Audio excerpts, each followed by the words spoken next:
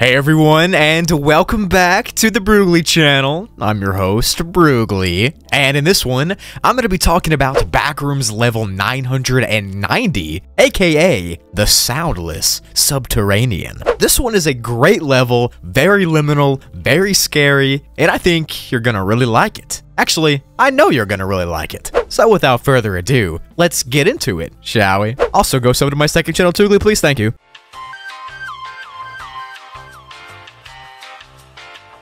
Backrooms level 990 is classified as a class 3 difficulty and is unsafe and unsecure, and has a small but dangerous entity count. The level itself is nicknamed the Soundless Subterranean, which is such a cool name by the way, that's, that's cool and it's physically a pretty cool description. The level appears to be a large cave network that has winding, curvy hallways, big open caverns, and rooms that are intercut with some old mine shafts. All over the walls and the ceilings and the floor, there are cobwebs and moss and different kinds of algae growing, and some parts of the caverns are flooded, but they are not just flooded with normal water, they're flooded with liquid pain. Liquid pain is a red liquid in the backrooms that normally hurts you, if you didn't know. Except this liquid pain here is pretty safe to the touch, just don't stay in it for long. The caves that are flooded with it can be anywhere from 10 to 20 meters,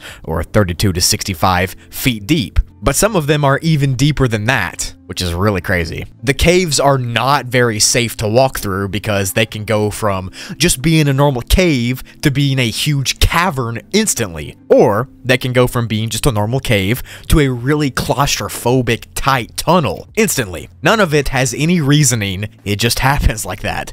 And on top of all the stuff I just talked about, there are random mine shafts that intersect into tunnels and caverns here. These shafts are made out of regular wood, but it's all really decayed and really cracked. In fact, the mine shafts are so old and broken that they can just randomly collapse at any time with just the slightest touch, which would be pretty bad if you were walking near or walking under one. The shafts sometimes have railways on them that go over into the actual caves themselves. And there's even some mine carts that have been seen there as well that are full of coal and other types of ore. But it doesn't make any sense that the carts are here because there's no way that humans got here with those carts since some of the things are so claustrophobic you couldn't have even fit the cart through them. So who knows? Just like some of the other levels of the backrooms, this level has some non-Euclidean effects that just make it dangerous. However, these effects aren't really noticeable until a few miles back in the cave, but once you get back there, you'll notice the pathways changing and glitching and folding on top of themselves,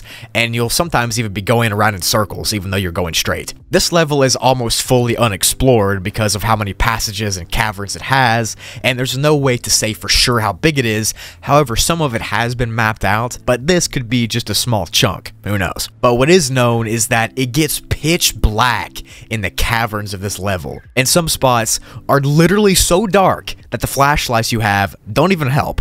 Like they don't even light anything at all up. These pitch black areas are the most enigmatic and weird parts of the level. Radio waves and GPS stuff only partially work here, but if you do use a GPS to see your location, it will actually say that you're in Slovenia, which is weird because why would a backrooms level say that I'm in Europe? Strange. Compasses aren't even useful here either because the needle never points the right way, so you never truly know what direction you're going in. Pretty much nothing works as it should here, which is one of the reasons it's truly dangerous. Now level 990 is actually really cold, and sometimes there's a fog that will roll through the tunnels and caverns. The ambient noise of the level is a relaxing water trickle with a slight echo. But sometimes that peaceful, relaxing background can be interrupted by really strange disturbances. These disturbances are audio hallucinations and an entity that I'll talk about later, but these audio hallucinations are thought to come from entities deep inside the level.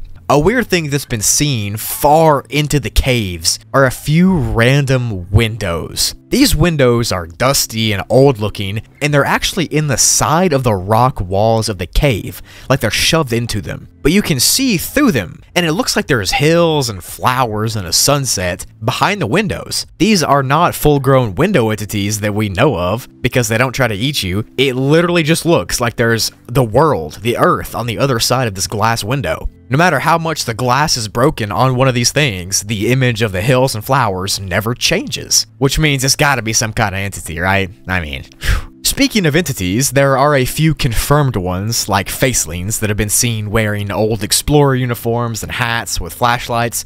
There's also been a few death moths that have been seen in the huge caverns. But the level exclusive entity is called a Ravager Ape. Now these things are found deep into the caverns and caves of this level and they need to be avoided at all cost. I repeat, they need to be avoided. So a Ravager ape is kind of like a Sasquatch or a Bigfoot from real life, just way more aggressive.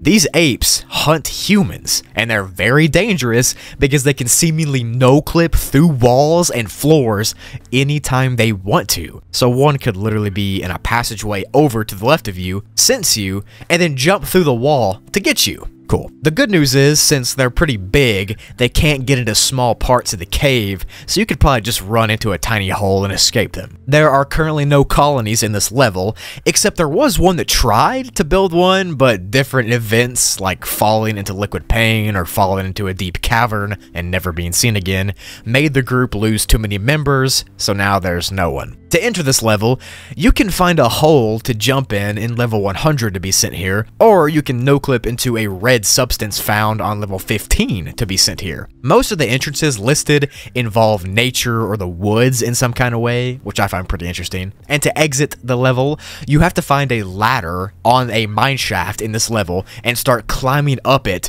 to presumably be sent back to the level you came from. But no one knows for sure because the people just disappear when they're climbing the ladder. So yeah, a huge cave system with random caverns, drop-offs, flooded corridors, and a home to giant apes who hunt humans for food. Sounds great to me.